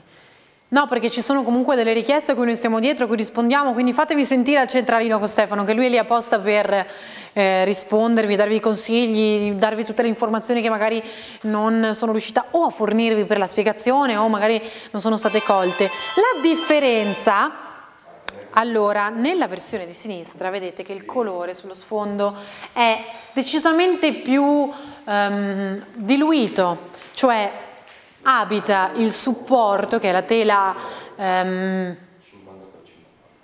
con soggetto Spider-Man, ormai non lo sbaglio più perché c'è Max alla camera che mi sega le gambe, e poi vediamo la differenza invece nella produzione alla destra con la stessa integrità e campitura omogenea per quanto riguarda il fondo nel rosso intenso e poi nuovamente c'è l'aggancio cromatico alla produzione di sinistra, ma qua veramente 1260, boh, ci sto comunque ancora ripensando perché mi, mi sembra veramente irrisorio, eh? E un po' non è un significato o un intento celebrativo che vuole esprimere con questa rappresentazione mm, l'artista, no? Caberlon, ma è un po' un evocare quegli stilemi pop e quella figurazione di massa che, come vi ho detto prima, in tante eh, rappresentazioni visive, che ormai sono diventate iconiche, ecco, rappresentano e appartengono all'immaginario collettivo di tutti noi, di chiunque. E lo stesso, vorrei ehm, fare questo collegamento, lo stesso vale per tutte le rappresentazioni del quotidiano, tra cui la, la moca conica importantissima di Aldo Rossi, che troveremo spesso nelle sue opere, che potrete vedere anche in opere che non sono esposte oggi ma che sono presenti apposta nel pdf per darvi la, la possibilità di, um, di acquistarle lo stesso, di investirci lo stesso. Stefano per quello le ha selezionate nel pdf. Sono tutte delle icone degli anni 60, un, una, un far riemergere ecco, un far riemergere quello che io ho voluto definire con Caperlon una sorta di revival del Made in Italy. Abbiamo parlato di Aldo Rossi che dal momento in cui ha collaborato col gruppo Molteni è diventato da architetto magistrale che già era un designer industriale importantissimo che non ha solo, ehm, cioè che ha lavorato per il mondo dell'arredo, di modelli di design eccetera e anche nella costituzione, nell'impianto di tantissimi ambienti che ehm, nell'Italia di quel tempo e di oggi tuttora perdurano nell'esaltare e nel far riaffiorare questo Made in Italy che purtroppo a volte sembra non esserci più. Quello è stato veramente un periodo in cui è stato celebrato, c'è stata un'espansione e vorrei ehm, creare come sfondo visivo di questo discorso, ecco, andiamo su questa Max, che che è molto bella, la 13 la 13, ma la 13 come la 16, come la 15, come la 14, con gli sprazzi anche dei giornali e del tratto mediatico cartaceo. Quindi andiamo a vedere, su, ecco, così le possono un attimo vedere tutte, poi passiamo anche a chiari che non abbiamo ancora analizzato. La mocca conica, vi dicevo, no, che Aldo Rossi ha ehm, ideato, ha disegnato, è un, un, motivo iconico che ritornerà e riemergerà spesso, ma ehm, perché parlo di revival del Made in Italy? Perché il Made in Italy non è né un marchio, non è né un brand, è un fenomeno, ok? L'esaltazione oltretutto di un fenomeno che nelle opere di Caberlon emerge e riaffiora in chiave tragica ed emozionale. Perché quella è stata l'Italia, questi oggetti sono stati la produzione di un'Italia che non è solo presente in una quotidianità comune, quasi con una considerazione banale li attribuiamo no, a questi oggetti, come può essere la moca, ma anche la Vialetti, tutti questi oggetti che magari hanno disegnato Mendini, che in questo caso ha disegnato Aldo Rossi e tanti altri grandi design, Sozzas, cioè ne, veramente ne potremmo eh, citare a di queste personalità, ma è il fenomeno che rende nel ricordo, perché il ricordo a riemergere attraverso queste figure, questi soggetti e questi oggetti, perché è un oggetto che diventa soggetto questo, e testimonia un fenomeno che è conosciuto, fruibile a livello universale, internazionale, perché chiunque, italiano, non italiano, nel mondo, riconoscerebbe attraverso un ricordo sensoriale quello che si intende con concetto di Made in Italy. Il Made in Italy è un fenomeno su cui oltretutto noi dovremmo concentrarci particolarmente in, in, questo mondo, in questa attualità, in questa contemporaneità in cui tutto è diluito a, e, e abbandonato a queste multinazionali che offuscano e sopprimono. Quello che invece è primo, la prima caratteristica e la prima tradizione del nostro paese, cioè l'artigianato, l'oggettistica, un ritorno a al fare con le mani, all'Homo Faber. Anche l'otto va in conferma, grazie. L'otto va in conferma, quindi Spider-Man. Esatto. Quello con il primo dei due um, supereroi. Resta l'altro con Batman, che oltretutto se non erro era 960, quindi anche quello è veramente interessante legato al valore proposta, rapporto valore-proposta. E vi dicevo, questo Made in Italy è una sensazione, non è meramente un rimando degli oggetti che noi vediamo raffigurati, stilizzati in maniera iconica in un immaginario, non è solo questo. Il Made in Italy è un fenomeno a cui tutti possono accedere attraverso il ricordo, il ricordo sensoriale di un materiale, di un odore, di un sentimento, di un gusto. Cioè è questa la grandezza di ciò che ci contraddistingue e che ha contraddistinto i nostri grandi designer, i nostri grandi musicisti, i nostri grandi artisti che hanno permeato tutti i settori dell'arte, dalla musica al design industriale. Abbiamo avuto delle personalità che incarnano un fenomeno, un fenomeno che si estende universalmente nel mondo. Se noi pensiamo, questa è una caratteristica che veramente unicizza un e sottolinea un, un, un, potenziale che è tutto nostro. Eh? Io trovo di, di un fascino incredibile. Poi, l'otto l'abbiamo già staccata, da questa, ma sono ancora chiaramente aperte tutte le richieste per quanto riguarda anche le altre opere esposte. Appunto, andiamo su Chiari adesso. Stupende. Andiamo su... Allora, intanto nella lista ne trovate più di quelle esposte. Andiamo anche... Andiamo subito su questa. Andiamo quella con il clarinetto, su quella con il clarinetto che è importantissima perché quando parliamo di ehm, Giuseppe Chiari parliamo di compositore, di artista, di figura eh, poliedrica che ha abbracciato diverse forme d'arte, forme d'arte come abbiamo espresso già all'inizio, che lo stesso vale per Caberlone, in realtà è un po' un testimoniare un vissuto, una realtà che questi, queste personalità hanno in prima persona assorbito, quindi c'è la musica, c'è l'arte visiva, c'è la composizione, c'è l'aver partecipato a quelle che erano le riviste portavoce di questi movimenti, di queste tendenze, di queste rivoluzioni, che capita sempre, no? quando c'è un distacco, una novità o un tramonto, di ribellarsi a un accademismo, a una tradizione e voler ricreare anche a volte con un, uno sguardo verso il passato, ma chiaramente con una chiave differente di lettura.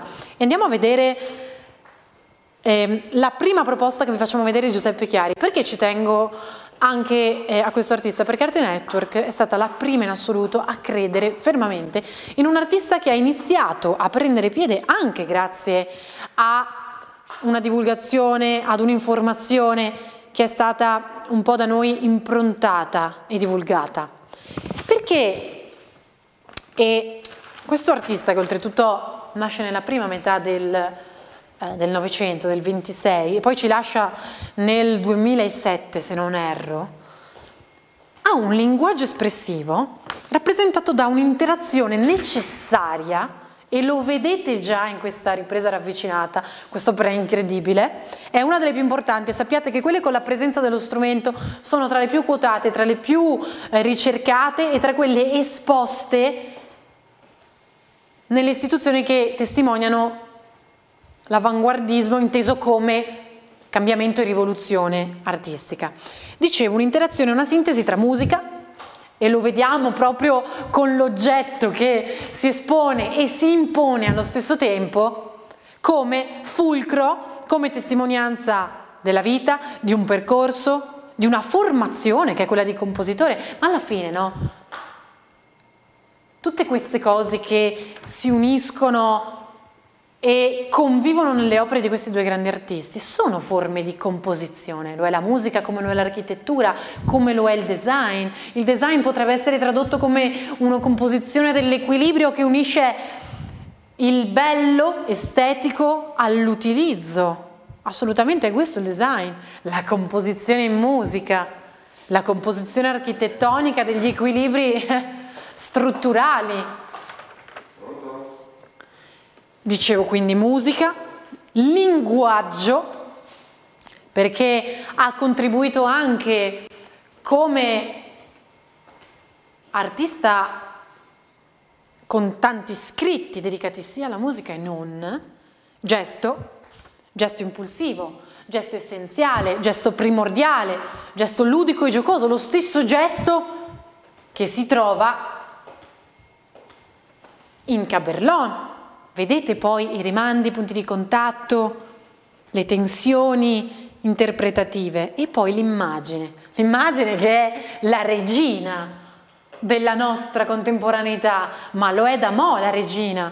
Tutto ruota attorno e tutto è veicolato in un'immagine che in realtà ha e comunica diverse, diversi aspetti, perché immagine non si lega superficialmente ad un concetto di figurativo o di testimonianza figurativa, si lega ai fotomontaggi degli sprazzi del divismo e di tutte, e tutti i fenomeni che si sono sviluppati proprio in quel periodo storico della seconda metà del Novecento, anche in The Factory di Andy Warhol, tanto quanto nei movimenti underground nella Milano di quel periodo, le figure che frequentavano gli ambienti erano estratte dalle diverse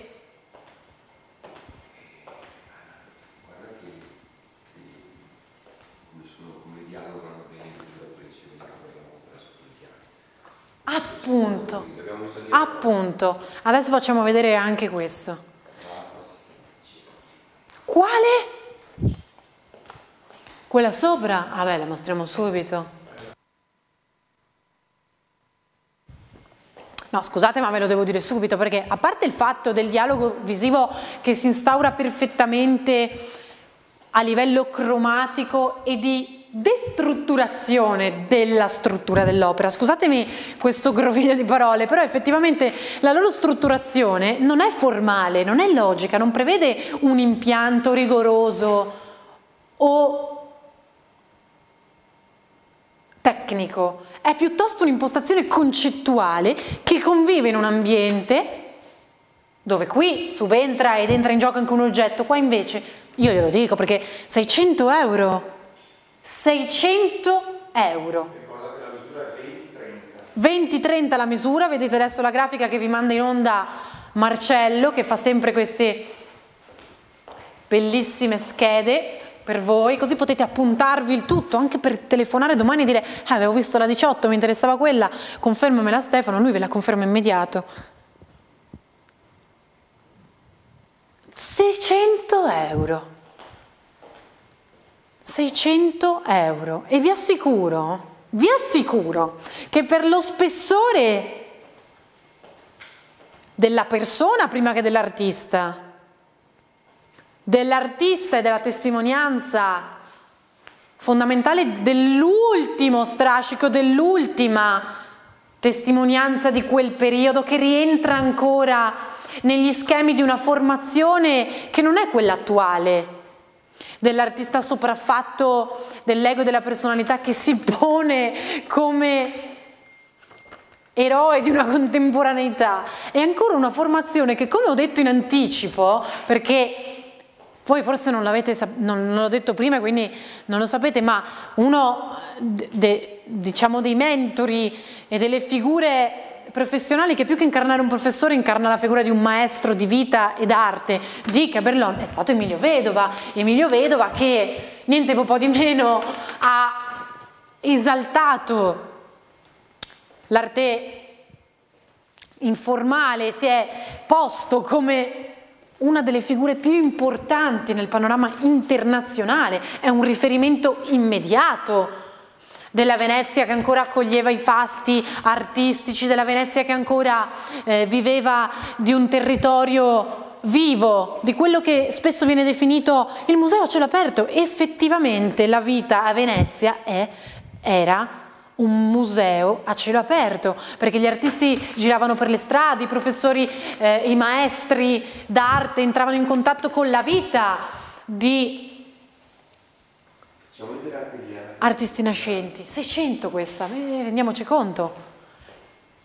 Ritorniamo a quella col clarinetto, che chiaramente è inglobata in questa scatola cornice che la conserva perfettamente e purtroppo mi tocca dirvi che questi due che adesso andremo a vedere, questa che se non erro è la 29, sì, e la 30, che adesso andiamo a vedere, di sempre Giuseppe Chiari, rappresentano entrambe, a parte le ultime due che abbiamo di questa serie e le più richieste, quindi attenzione se dovete scegliere e puntare su una delle opere proposte dell'artista. Eh, chiaramente, poi le misure le vedete, 85-65 questa, andiamo a vedere anche l'altra, Andiamo, bravissimo Max, facciamo vedere anche questa perché anche qua emergono e convergono, quindi coesistono nella stessa opera.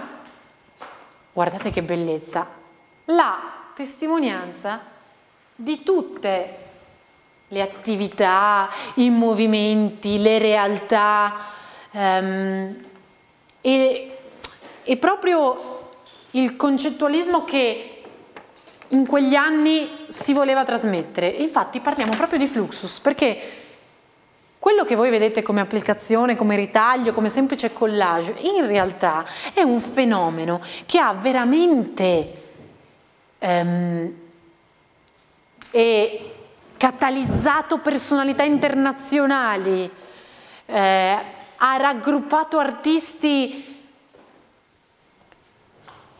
da ogni dove per creare questa filosofia che era proprio quella di approcciarsi, di improntarsi ad un continuo sconfinamento della specialità dei linguaggi, quindi una ribellione totale, un abbandono oltre i limiti, che è prima un concetto che un'applicazione, artistica e tecnica, quindi un, modo alternativo di riprendere in mano l'arte in un periodo postmoderno di rivalutazione di un design, di una, di un, di una tipologia di, di, impostazione, di approccio alla vita, ok? E lui entra nel 62 in questa realtà, entra a far parte nel 62, proprio nel periodo nascente, perché nasce proprio all'inizio degli anni 60. E che cosa, cosa univa questo network internazionale di artisti univa compositori, designer, designer che univano le forme di comunicazione dei media, quindi mediatiche, attraverso, attraverso, attenzione perché è lì che nascono i primi approcci a questa tipologia di arte, attraverso delle performance, che sono più delle esperienze che, come ho detto prima, dei dettami tecnici o linguistici il linguaggio diventa un evento, un evento che in questo caso nell'opera di Chiari viene perfettamente rispecchiato in quello che è il divismo, frammento di Marilyn Monroe, una delle più importanti stelle e, e dive de, dello spettacolo e, e, non solo, perché queste, persone, queste personalità andavano oltre il concetto che oggi nella nostra contemporaneità neanche si riesce a sfiorare e neanche ci si riesce più ad avvicinare, perché è, è un'icona non solo di bellezza, evidentemente, in maniera evidente, ma è proprio un'icona di, di, stile di vita, di aver testimoniato un tipo di realtà che non esiste più, di aver attraversato quel tipo di mondanità e quel tipo di spettacolo.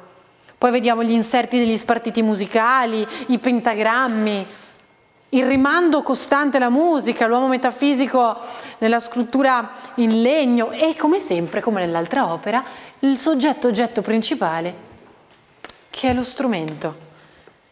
Perché la sua ricerca sperimentale è su questo, è sulla musica visiva e questi collage che mh, diciamo, giungono all'apice della, della, maturazione nel periodo che va a cavallo tra anni 80 e 90 in chiari, non è un limitarsi ad incollare fogli, strisce, adesivi, spartiti o comunque mh, testimonianze cartacee di una realtà, ecco, gridi cartacei di una realtà, ma è proprio una vera e propria contaminazione tra la sonorità e l'aspetto visivo. La poesia visiva, infatti, è un concetto che si esprime perfettamente in quell'andamento temporale che sono gli anni 70, gli anni 80. E Fluxus è proprio la, la realtà che, che meglio esprime questo sfociare al di là dei linguaggi preconfezionati, dei limiti. Quindi noi cosa troviamo in quest'opera? La vita multimediale, la sperimentazione,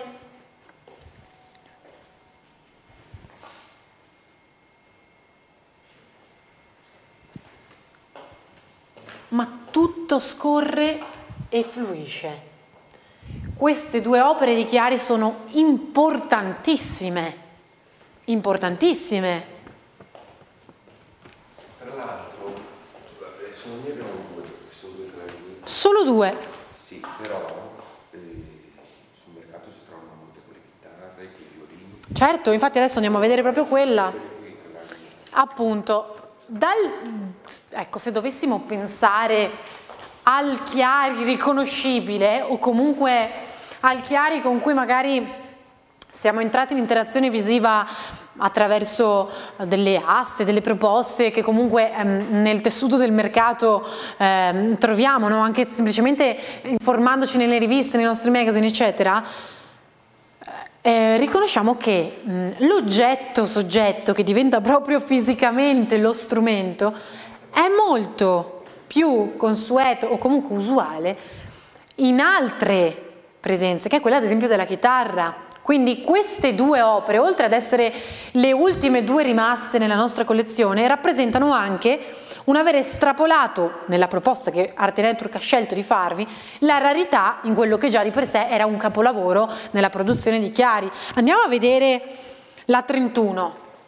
Qua vedete si smaterializza l'oggetto, non entra più in scena come presenza concreta e materica, ma diciamo che, e questa è la 31, esatto, la 31, Intanto il gesto, l'impeto del gesto, vedete come le campiture non siano né rigide né eh, stilizzate in maniera mh, mm, precisa e contenitiva, anzi eh, i colori ehm, si sovrappongono, creano dei ehm, grovigli cromatici in queste sovrapposizioni, proprio genera un aspetto che come vi ho detto già per tante opere e per l'approccio di Caberlon sono primordiali, non seguono uno schema logico di impostazione tecnica.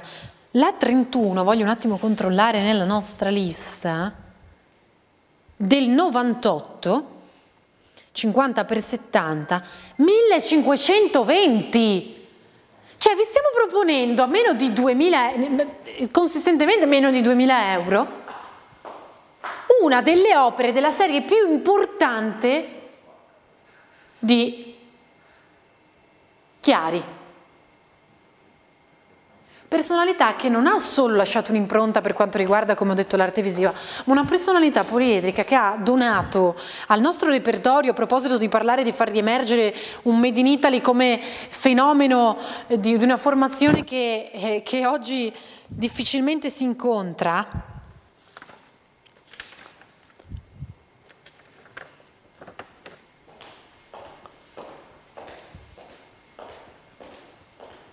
questa proprio è l'esasperazione di quello che lui intendeva la musica d'azione.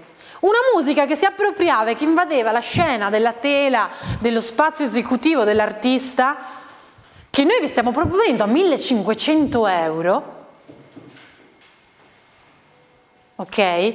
Che chiaramente si colloca nella serie più importante di Chiari, pubblicate.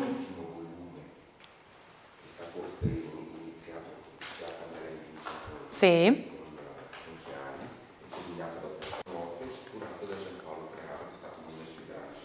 Ecco, Giampaolo Prearo che è stato, stavo un attimo discutendo proprio di questa cosa con Stefano, uno dei più grandi sostenitori di Chiari, ok? E mi permetto di dire che ha avuto lungimiranza nell'interpretare l'artista, perché questo, ve l'assicuro, è uno degli artisti che vi ricorderete di aver acquistato oggi in questo speciale di Arte Network quando acquisirà, e non parlo solo, non voglio scemare solo in un discorso economico, acquisirà un valore rappresentativo di un iter artistico della seconda metà del Novecento che è da quello che vi dovete fare inizialmente sopraffare prima che dal fatto che sicuramente di pari passo anche a livello economico acquisirà un valore e crescerà. E quest'opera ed altre opere di ehm, Chiari che sono esposte nella nostra trasmissione, nello speciale di oggi, sono pubblicate in questo catalogo, vi dicevo, curato ed edito da, da Prearo che eh, era stato iniziato... Musica Madre si intitola, su cui abbiamo lavorato personalmente quando l'artista era ancora in, viva, in, vita prima del 2007 ed è stato terminato poi ehm, a posteriori dopo che l'artista era già mancato nel 2007. Quindi queste opere fanno parte di una testimonianza importantissima sono sostenute da, stato, da, un, da un catalogo che è stato partorito assieme all'artista legato all'archivio e a 1500 euro 1500 euro, vi viene proposta un'opera sostenuta dalla pubblicazione che chiaramente è stata confrontata e scelta dallo stesso artista, quindi che non lascia un margine di negazione di rimpianto nella vostra scelta, ok? O di errore, perché lui, lui stesso l'ha selezionata, 1500 euro. La 32, che fa parte della serie degli spartiti musicali dei pentagrammi che accolgono in maniera sempre istintiva, gestuale, queste macchie di colore, questa è una serie anche questa che, ehm, caratterizzante dell'artista, di Chiari ed importante, ma, la, ma la, la, chitarra, la chitarra 1500 euro, perché adesso mi sale il fumo di mezzanotte, ehm, mi esce da, dalle orecchie, è la classica opera che tra cinque anni, tre anni, potreste dire cosa ho fatto quella volta a non investire una proposta che ve lo dico per il valore dell'artista irrisoria e a perdere nelle vostre collezioni un'impronta caratteristica e celebrativa di un periodo storico. Questa è la 32. Voglio controllare i prezzi e, farvi, e darvi una negli ultimi minuti una proposta un po' generale, la 32.800 euro. Anche questa serie importantissima. Passiamo attraverso il tributo, quanto Max? Due minuti, aiuto. Passiamo attraverso il tributo che Caberlon appunto ha, e qua il legame, c'è anche una logica espositiva nel nostro set, c'è proprio il richiamo del tributo e dell'omaggio che è stato fatto ad una personalità incredibile, che è appunto Giuseppe Chiari, e poi ci spostiamo in questo trittico bellissimo ci spostiamo perché voglio far vedere anche la 33. La partitura con aritmetica, eccola qua, sempre del 98. Anche questa 1500, 1520, anche questa. Sempre parte delle due serie più importanti che oggi abbiamo mostrato, quella con l'oggetto musicale, quella con le, partiture, i pentagrammi, quelli che proprio fanno emergere la natura eh, profonda e originaria di eh, Giuseppe Chiari. E poi facciamo una cosa, mm, visto che adesso devo passare ai, ehm, ai saluti, perché forse manca un minuto, giusto? Un minuto. Allora, innanzitutto, se non l'avete già fatto, fatevi mandare da Stefano il pdf perché potete contattarlo quando, quando volete, lui è a vostra disposizione per ehm, eh, girarvi le informazioni, i prezzi, eh, contrattare con voi in privato tutte le opere che sono state esposte, di cui abbiamo parlato oggi nel set, ma non solo perché nel PDF c'è sempre un contenuto aggiuntivo rispetto a quella che è stata diciamo la proposta concreta che abbiamo potuto affrontare assieme nel nostro cavone, nel nostro set.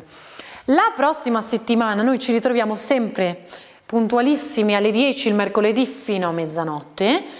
È una sorpresa anche per me perché di settimana in settimana studiamo assieme con Stefano su che artista puntare, lo selezioniamo veramente in maniera accurata, c'è un lavoro eh, puntiglioso dietro. Eh. E torniamo per i saluti su questi perché li ho mostrati a inizio, i fumetti eh, Dada Pop che sono stati richiesti, ma forse non tutti perché li ho mostrati solo una volta, li hanno seguiti fino alla fine. Nel PDF trovate tutto. Nel frattempo vi auguro buonanotte, ringrazio per le conferme, per le richieste, per la partecipazione come sempre. Quindi buon, buona settimana, buon fine settimana, a mercoledì prossimo, buonanotte e grazie ancora a tutti.